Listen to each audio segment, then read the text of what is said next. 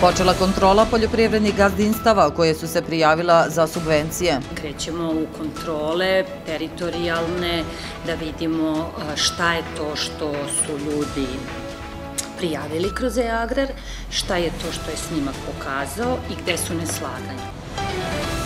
Ministar sporta Zoran Gajić posetio srpsku prestonicu Vijeline. Stadion futbalskog kluba Brezak u Pranjinima dobio reflektore, pristupnu saobraćajnicu i zaštitnu ogradu. Mi u Ministarstvu sporta tretiramo sport kao celinu iz tri dela fizičko vaspitanje koje se ostvaruje u školama, vrhunski sport i rekreaciju.